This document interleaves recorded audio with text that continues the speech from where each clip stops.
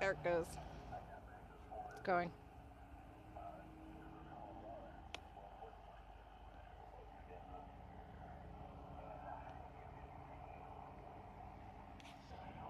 Victor Echo 7, Zulu Whiskey X-Ray, West Coast, Canada. Do you read?